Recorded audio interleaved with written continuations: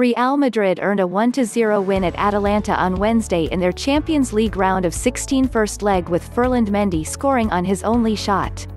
The goal came in the final moments and puts Los Blancos in the driver's seat to advance to the quarter-finals when they play the second leg in March. But how did each player perform in this one? Here are our player ratings for the match for every starter, substitute and manager. All ratings are out of 10, and the higher the number the better. A 0 would be a first-minute red card. A 10 would be like a dominant hat trick. GK, Pierluigi Gollini he wasn't too busy, and he was beaten by a fantastic strike. Did everything else well, but could he have done better on the goal? His line of sight seemed 5DEF, Berat Djimsiti positioning could have been better, but the effort was there. He also did well to clear danger and was strong in the 6DEF, Cristian Romero positioning was good, recover the ball well, but at times had trouble with Real's technical ability.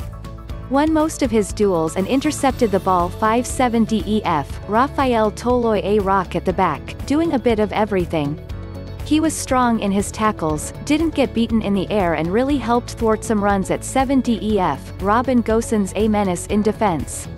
He was one of the strongest players on the pitch and could not be beaten when challenged one-on-one. -on -one. Rating 8 DEF, Joakim Maehle hustled but his passing was very poor always seemed to need an extra touch to get comfortable.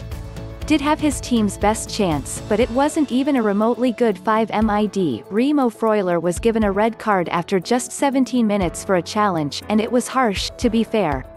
He didn't deserve to be sent off, and now he has to miss the second leg. Unfortunate for him, rating, N, amid, Marten de Roon with real dominating the ball, he never really got going and had just 46 touches. He also never got forward, failing to complete one pass in the final 5 MID. Matteo Pessina tasked with being the creative playmaker in the middle, he created zero chances. So, you tell me how his day 4 FWD, Luis Muriel going down to 10 men hampered his opportunities, and he lasted just 56 minutes before being subbed off.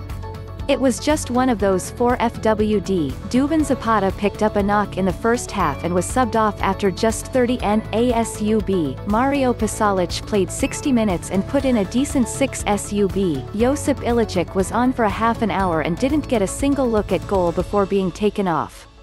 Not N, ASUB, Ruslan Malinovsky late subrating, N, ASUB, Jose Palomino another late N, AMANAGER, Gian Piero Gasperini red card just torpedoed the team's attacking plan. A 0-0 draw would have been a fine result all things considered but now they have their back against the wall. Still, they are more than capable of turning around the slim deficit. It wasn't all that bad, but the referee did them NOGK Thibaut Courtois he made as many saves as you and I did.